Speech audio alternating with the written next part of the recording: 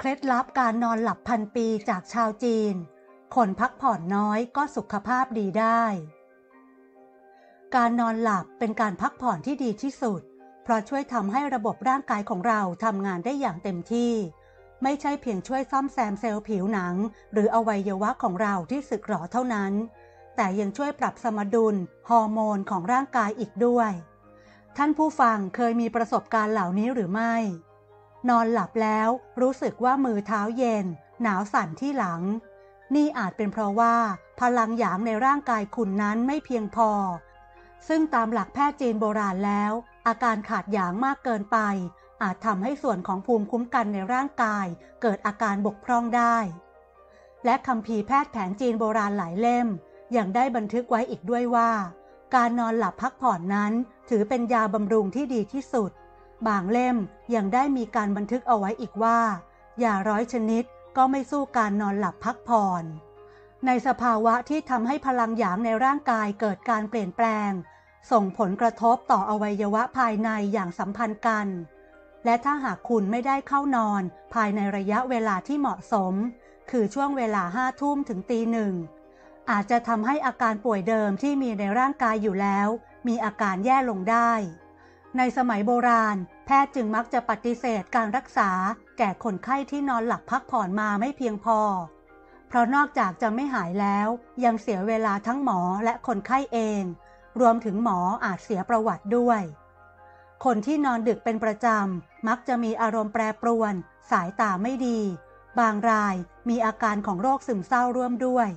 บางคนอาจคิดว่าค่อยไปนอนกลางวันเอาภายหลัง แต่จริงๆแล้ว มันไม่ได้ช่วยให้อาการดีขึ้นเลย วันนี้เราจึงมีเคล็ดลับการนอนโบราณที่สามารถช่วยบรรเทาอาการต่างๆ เหล่านี้ได้มาแนะนำ 1. เพิ่มพลังหยาง คุณสามารถฝึกฝนนอนในท่านี้ได้ทุกวันก่อนเข้านอน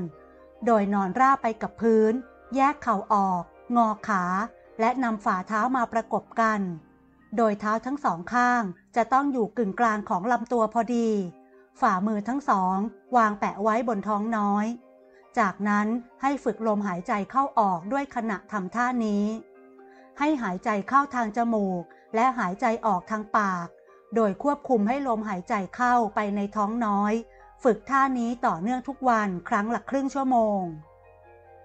2. ผสานพลังหยวน หลังจากที่ฝึกท่านอนด้วยท่าแรกได้แล้วเป็นเวลาหนึ่งเดือน ให้ฝึกฝนท่านอนนี้ต่อ โดยส่วนขาให้ทำท่าเหมือนกับท่าแรก แต่ต่างกันที่มือทั้งสองข้างนำมาประสานกัน และวางไว้บนศีรษะของตัวเอง สิ่งที่ควรระมัดระวังขณะนอนหลับมีดังนี้ 1. หันหัวให้ถูกทิศทาง ศีรษะควรหันไปทางทิศเหนือ ส่วนปลายขาให้หันไปทางทิศใต้ เพื่อเป็นไปตามทิศทางของสนามแม่เหล็กโลก เพราะในขณะนอนหลับ สมองของเราจะได้รับคลื่นแม่เหล็กอยู่ตลอดเวลา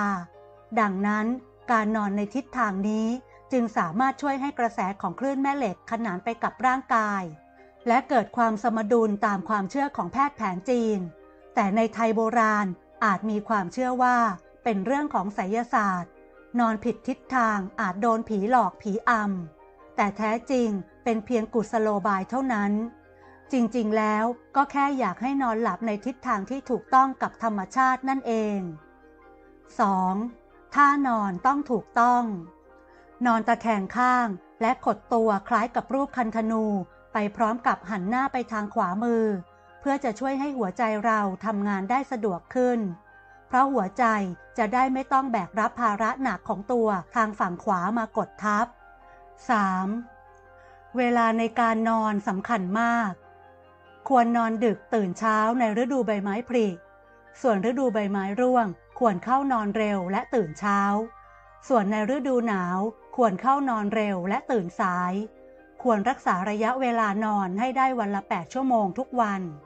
และมากกว่านี้สำหรับผู้มีอาการป่วย ไม่ว่าคุณจะเป็นคนทำงานกะดึกหรือเช้าก็ตาม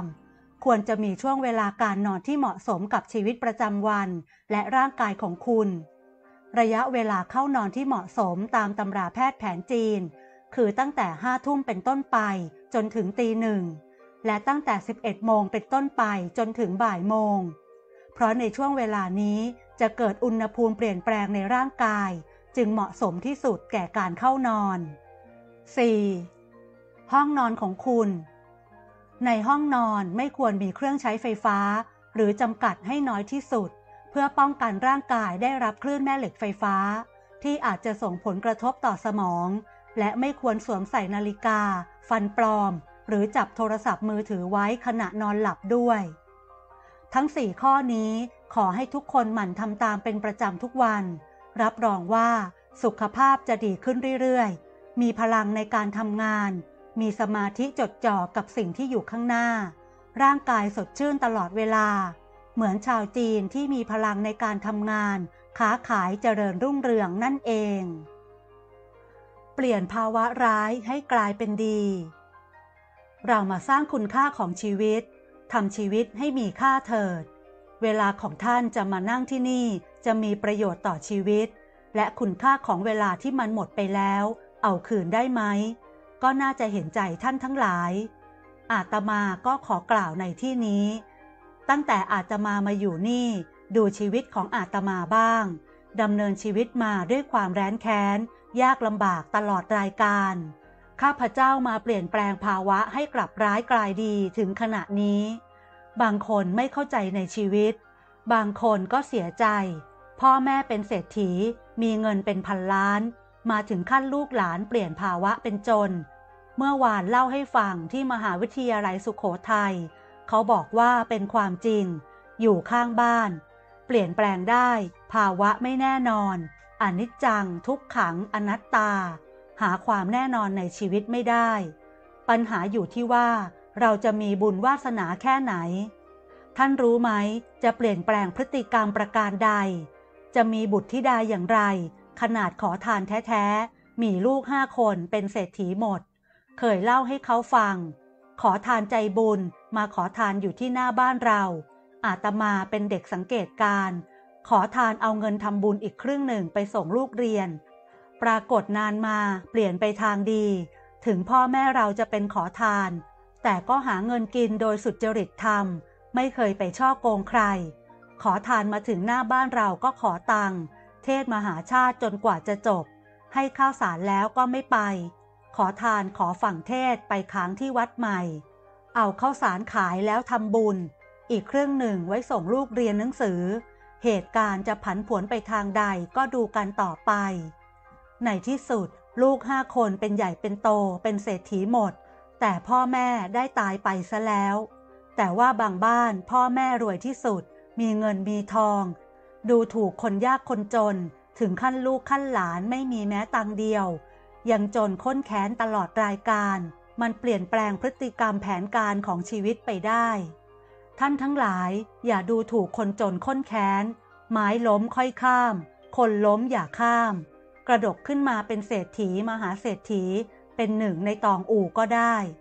เช่นโยมจังหวัดตรังมานั่งกรรมฐานก็มีเยอะ ที่เป็นพี่น้องกับชวนหลีกภัย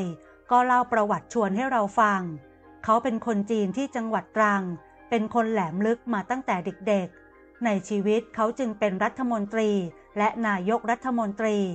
นี่มันผันผวนและเปลี่ยนแปลงไปในทางดีหมด ถึงขณะนี้เขาก็ยังดีอยู่